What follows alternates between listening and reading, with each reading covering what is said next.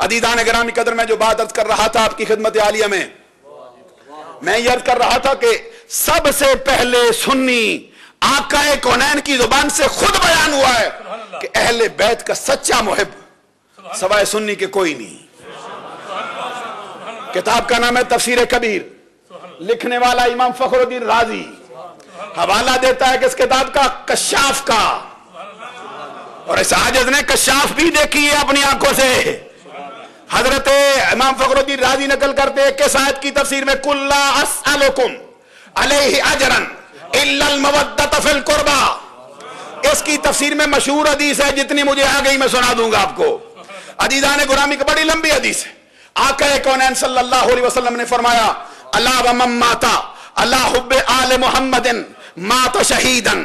अल्लाह वमम माता, अल्लाह हुब्बे आले मुहम्मदिन, माता ताइबा अल्लाह वमम माता अल्लाह हुब्बे आले मुहम्मदिन माता मोमिना अल्लाह वमम माता अल्लाह हुब्बे आले मुहम्मदिन माता मुस्तकमिल ईमान अल्लाह वमम माता अल्लाह हुब्बे आले मुहम्मदिन माता गुफिर लहू मा तकद्दम मिन ज़ंबिही अल्लाह वमम माता अल्लाह हुब्बे आले मुहम्मदिन माता अहले सुन्नत वल जमाअह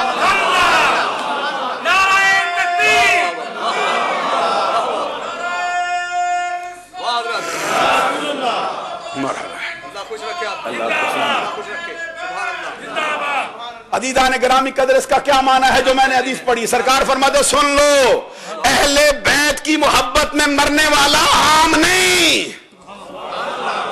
इमाम अली मकाम की अजमत का तो कहना ही क्या है, अभी सुनेंगे आप।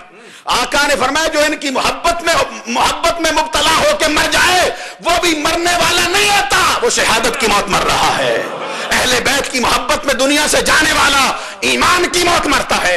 अहले बैत की मोहब्बत में जाने वाला तौबा की हालत में जाता है। अहले बैत की मोहब्बत में जाने वाला ईमान की तकमील के साथ रस्ते सफ़र बांधता है। अहले बैत की मोहब्बत में मरने वाला जब मरता है, उसकी उसकी ज़िंदगी के तमाम गुनाहों पर माफ़ी का कलम फेर दिया जाता है। और फिर फरमाया, जो अहले मोहब्बत में मरे समझ लो अहले सुन्नत व जमात के रास्ते पे मर रहा। पता चलता है आका कोनैन सल्लल्लाहु अलैहि वसल्लम ने भी फरमा दिया कि अहले बैत का सच्चा मुहिब। सवाए सुन्नी के कोई दूसरा नहीं है। और फिर साहब कराम इमाम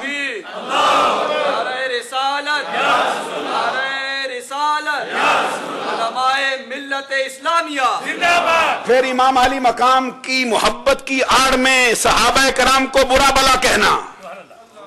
स्टेजों पे चढ़ के, मीडिया पे आके, टीवी की जीनत बन के चैलेंज करना, साहब कराम को गालियाँ देना।